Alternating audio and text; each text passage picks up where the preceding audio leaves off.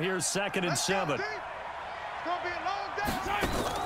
From midfield, here's Mahomes. They'll let this go for the end zone.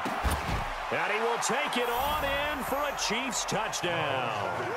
Tyreek Hill